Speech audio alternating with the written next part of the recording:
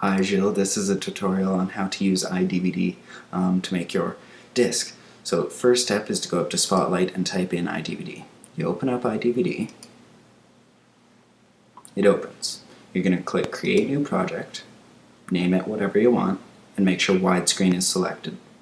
Create. Replace. Now your window will pop up. You see it here.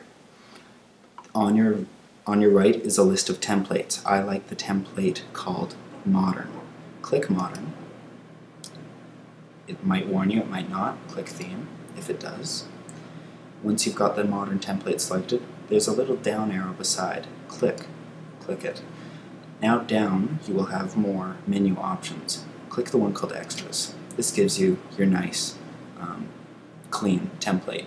Now you're noticing here that I've got these red boxes to make these appear, click View and click uh, Show, mine says Hide because it's already enabled, Show TV Safe Area and Show Standard Crop Areas. Click both of those to get these red boxes. What these red boxes are is the first red box right here is showing you what your um, standard square TV is going to look like. So anything that is leaking outside the box is going to be cut off on the screen. Second box goes for the same except for widescreen. So anything that's leaving that is going to also be cut off. You're going to notice that half the S here is cut off, so we're just going to drag that right back in. Nice.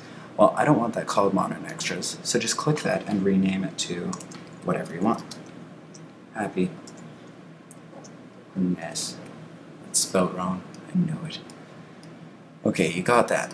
Well, now we need to put in our video. So over here on your desktop might be your video. Click and drag that into the black area. Not the drop zone, but the black area. You'll drag it and you'll notice that the name here pops up. Click that once or twice to rename and name that whatever you want. And also underneath that you'll have a list of sizes that you can change. Now remember, when you're doing the sizes, you don't want anything to leave. Okay, nice, we got that. But now we need to put something in our drop zone. So put the exact same video, because that's the only video in here, into the drop zone. Pop. Now, what this is going to do is show them, while they're in the DVD menu, their um, little movie preview. So once again, or not once again, but drag the sliders to show what parts you want to show in the first drop zone. So let's go to that section there. Good, we've got our first drop zone. So click out just by clicking in the black and click this button right here. That's going to cause it to play.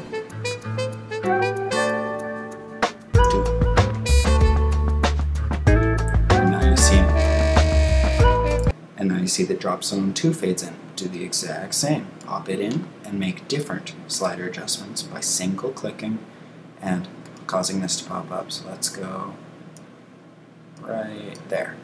Same with number three. And if you want to take a shortcut so you don't have to play, just drag this little triangle to about there to get to drop zone three. Do the same.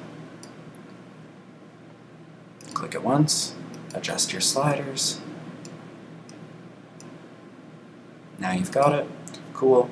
You click these little dots here, the little screens, show DVD map. Click that and it shows you here you've got drag contents. You have your main menu and you have your movie. Um, the, the first one would be a preview that you want to display, such as your uh, movie logo, like mine. Second one is just showing this is your menu. You double click it, you can see that. You can see there, this is your menu. And the third one is your actual video file. And that's how iDVD works. So after you have performed these actions and edited to your content of heart. Um, you can single click something, click information, it'll give you another pop-up window that allows you to do options. So you can change the color to whatever you want there, click the background picture here, comes up with more options. You can drag music in, you can drag background pictures in for this area here, and you can change a whole bunch of different options. But right now we won't worry about those. You just see here, we have our title, we have our actual video file, and our DVD map is correct with no little warnings. Now go ahead and click the vortex thingy to burn the disk. And that's all there is to it. I know it's a lot, but you get used to doing it if you're into video thing, and I hope that can help you. Thanks for watching.